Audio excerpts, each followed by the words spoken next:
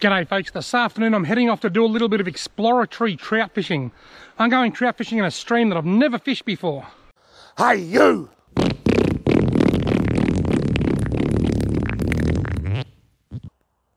You're watching Robbie Fishing.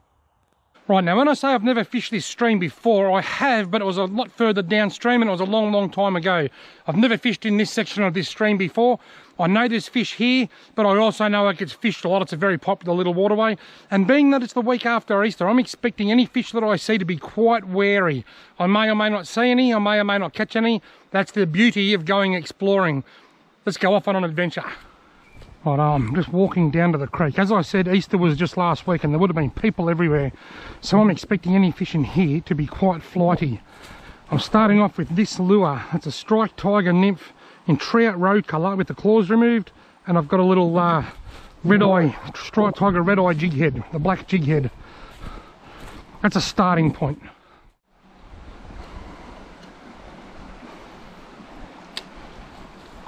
It. Oh, that was a fish. As soon as hit the water, a fish hit it. That's a great sign. Is he going to follow it out? No, that's a sign. There are fish here.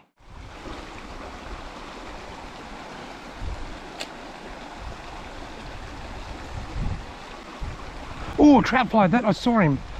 He never touched it. I just saw it. I never even saw him following it. It wasn't until I put the lure out of the water I saw him darting away. Right. So, I've just got in here. I had a fish hit in that hole and I had a follow in that hole. I get the impression that as expected they're very very spooked and very flighty but one thing I do know for sure is that they are here. You ripper. That's a start. That's the biggest hurdle crossed. That's the whole creek. And then I'm just stepping over the creek now. I wonder if there's a fish in that crack.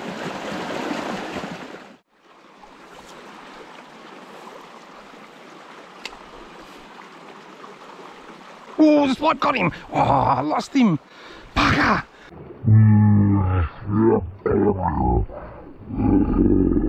He hit it. He wanted it. He hit it. I've seen three fish. He wasn't a bad trout either. They're very flighty. He was so scared to take that then. He didn't hit it with confidence. That's one thing I can tell you. He did not hit it with confidence. And I'll be very, very surprised if he even as much as follows that lure back out then. Well folks, so far, and I've only been here 10 or 15 minutes, what I've learned is that the fish are very, very flighty, and that's what I expected, because last weekend was Easter. It's only three or four days after Easter. A lot of people say, oh, this spot's going to get a flogging over Easter, and this is going to get a hiding over Easter. But what usually happens, the people that get there first, either the Wednesday or Thursday before Easter or, or the Good Friday, first in, best dressed, because after the first people have walked through, for the rest of Easter, the fish are normally really, really flighty and not as easy to catch.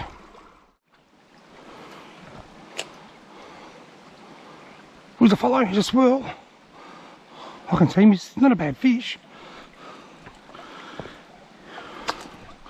Reluctant, but not bad. Might even change lure colour. He comes, here he comes. Look, look, look. He's on it. He's not real big.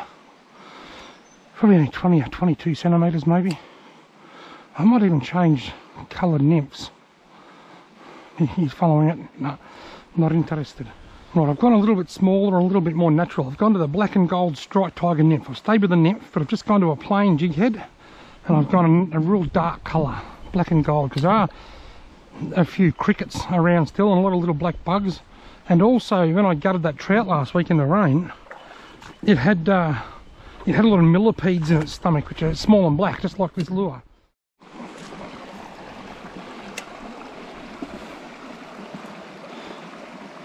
Oh, there's a fish on it. There he is, he followed it. There's a big brownie, not big, but he's a nice brownie of around 30 centimetres.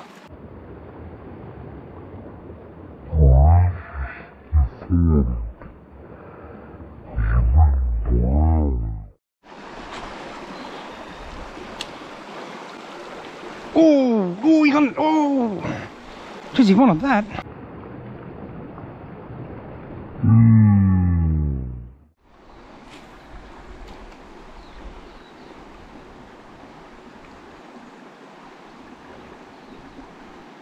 Was a follow, he got him. Oh, he hit it. Oh, he chased it out. He hit it and he chased it out. Oh, oh, he hit it again. Bloody hell. They're hitting it, they're wanting it, but they are so scared. I've certainly found the lure that they want, I'm convinced of that. But they are so chicken. Follow, look, that's a blackfish. That was a really big blackfish, followed that out there then. Know if you'll come back and hit it. First time was a trout, but that was definitely a blackfish. There he is, he's right there. Big blackfish. The big blackfish it out, that's really cool.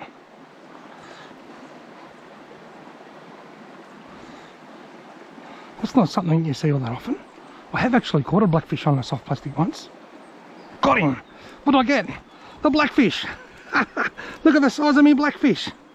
Uh, Jenny and I wet my hand a bit and look after him. He's a bloody lovely little fish. There we go folks, have a look at that for a blackfish.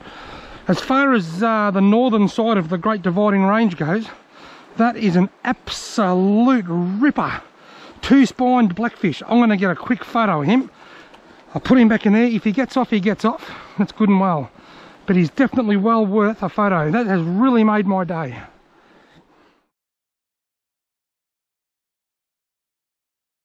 There you go folks, have a look at that for a beautiful freshwater blackfish.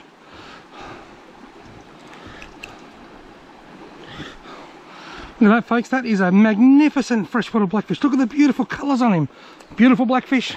See you later mate. I had a big trout follow it out and he wouldn't take it. I've had quite a lot of trout follow it out and not take it. But the blackfish came out and took it. That has made my day. Blackfish on the southern side of the Great Dividing Range get much, much bigger. But that one there, this side of the Great Dividing Range, on the northern side of the Great Dividing Range, that's actually a quite a large blackfish. And I've got quite a large smile on my face. You ripper! This trout just rose up there at the top of the hole. Oh, I've stuffed the cast up big time. he was a, I saw the rise and got excited and just flicked. Oh, try that again. He rose about two metres. There he goes, he just jumped clean out of the water.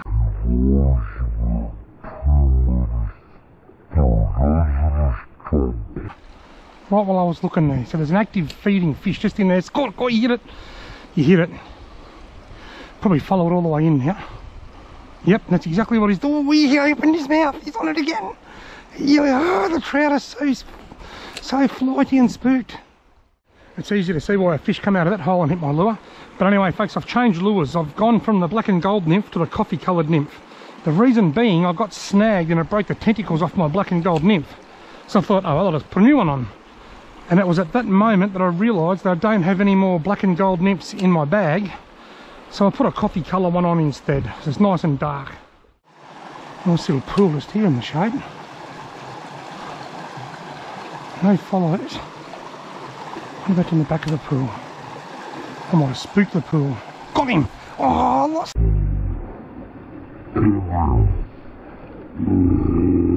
Lost him! That was the closest I've come to catching a trout today. He belted it, he absolutely belted it. I've gone from follows to taps to strikes. Surely it's uh, only a matter of time before I start getting hookups. Gee, you hit that hard.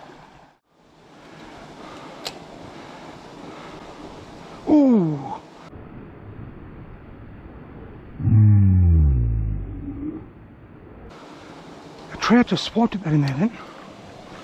Look.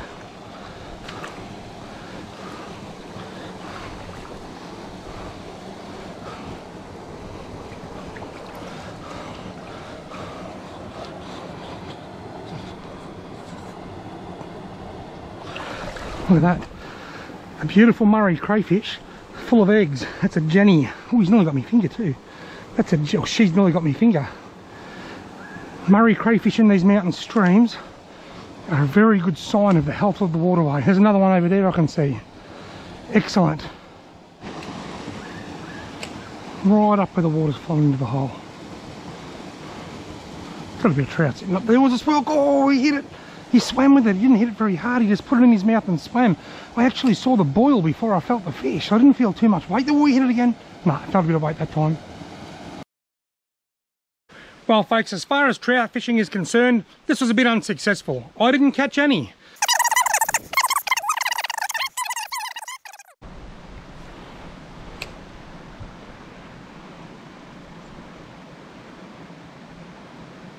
Oh, a fellow got him. Look at that. You wouldn't read about it. I'm going to have to film a different closing scene. There you go folks. That is a lovely little brown trout caught on the coffee coloured Strike Tiger nymph. Mate, that's funny. See you later, mate. Closing scene, take two. Well, folks, I've had an absolute blast. I found a new stream that I can fish. I walked upstream for quite a long time. I had a lot of trout follow my lure. A few of them hit, but none of them hooked up.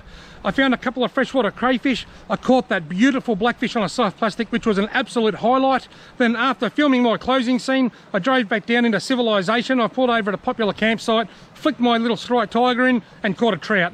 So folks, I found a new spot that I can fish and I've had a wonderful time. Thank you very much for watching. I hope you've had a wonderful time watching it. If you have, why not give it a thumbs up and hit the subscribe button and hopefully I'll see you in my next video.